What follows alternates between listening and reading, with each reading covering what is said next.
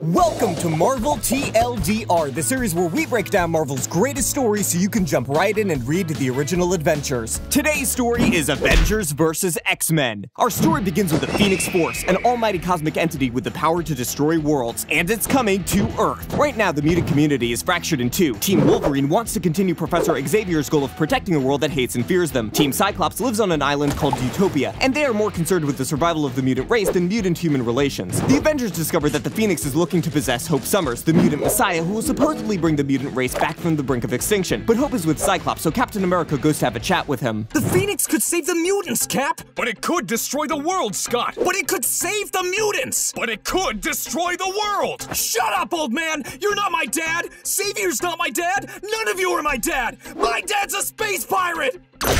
A helicarrier full of Avengers fight a bunch of X-Men. Hope Summers begins to channel the Phoenix Force and escapes. Hope tells Wolverine that she's going to accept the Phoenix, but if things go south, she wants Logan to kill her. Wolverine and Hope go to the moon to intercept the Phoenix, but all the Avengers and X-Men are waiting for them. The Phoenix shows up and everyone starts fighting again. Iron Man blows up the Phoenix with a big mech suit space laser, but it doesn't die. Instead of possessing Hope, the Phoenix splits up and possesses five other mutants, Cyclops, Emma Frost, Colossus, Namor, and Magik. These cosmically charged super mutants called the Phoenix Five use their new powers to bring about world peace and end resource shortages, but the Phoenix is a corrupting force, and the Avengers fear that this peace will not last. Scarlet Witch convinces Hope to join the Avengers. This enrages Cyclops, and he decides to destroy the Avengers. Sure enough, the Phoenix Five become more and more corrupt. They destroy Black Panther's home city and keep captured superheroes in a hellish volcano prison where demons eat away at their souls. Over many battles with the Avengers, Namor, Colossus, and Magik lose their Phoenix powers, and so their energy transfers to Cyclops and Emma Frost, making them stronger than ever. Professor X, Magneto, the Avengers, and the X-Men all go to fight Cyclops and Emma. Cyclops is about to lose to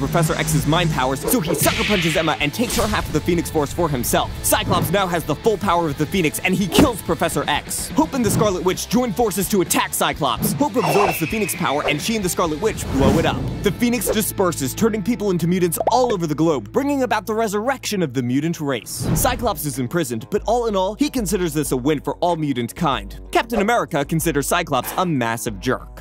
TLDR, remember kids, just say no to being possessed by almighty destroyer birds from space.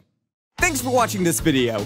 Read the original Avengers vs. X-Men storyline on Marvel Unlimited, on the Marvel Comics app, or in graphic novel edition wherever comics are sold.